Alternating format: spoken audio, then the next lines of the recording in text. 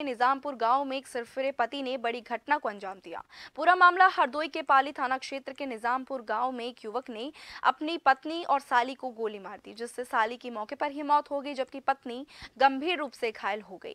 घायल पत्नी को लोगों के द्वारा हॉस्पिटल में भर्ती कराया गया, जहाँ पर पाली सीएससी से गंभीर हालत को देखते हुए घायल अवस्था में जिला हॉस्पिटल रेफर कर दिया गया। घटना की पूरी जानकारी देते हुए एसपी हरदोई राजेश द्विवेदी ने बताया कि पुलिस मामले की जाँच में जुटी हुई है। जल्द ही आरोपी को गिरफ़्तार करके जेल भेज दिया जाएगा।